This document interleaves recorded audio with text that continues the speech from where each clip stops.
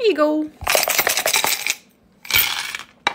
Okay, so the first thing I'm seeing here, uh, you're being plagued by something in your life. There's something that is persistently nagging at you. I'm not quite sure what it is just yet. It looks like it may be these three paths that you have here. Um, there's a disconnect spiritually or on like a soul level with your relative or relatives or with like family or a family member. Um, and this is causing negative change in your career path. I'm also seeing some self care that's required to deal with some overwhelming gossip that is basically a betrayal. Um, that's going to actually support your courage and your strength. So, practicing your self care care to deal with what people are saying about you, especially when those people matter, is going to make you stronger here.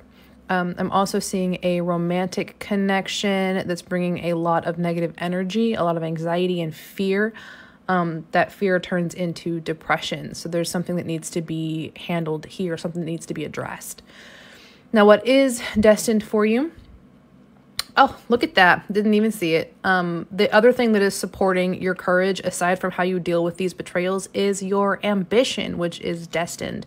You're always going to be this ambitious, ambitious person that you are, in spite of negative changes that may happen in your career path. Um, what's destined for you also is the pain that you will be experiencing here from yourself.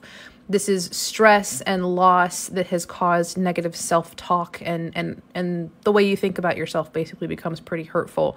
Um, so this this hurting yourself is is a bit um, unavoidable for you.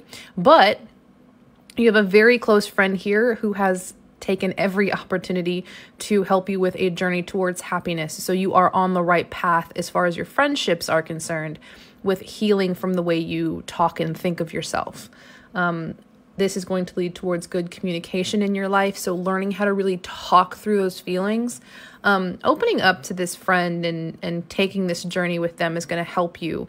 Um, because basically talking through that negative self-doubt you know that that negative self-talk like talking through that with another person they're going to be like well that's actually not true like you think this about yourself but that's not what really happened that's not reality you know and, and this friend's really going to help you like realize that the way your brain hates your yourself isn't always accurate. We're really good at tricking ourselves into thinking things are true about us that are that are just not.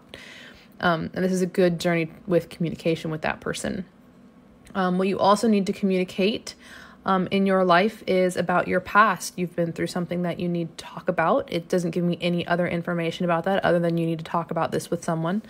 Um, and then another thing in communication, you're going to learn how to stand up for yourself and really defend yourself, which is something that has been taken from you in the past. You've separated there.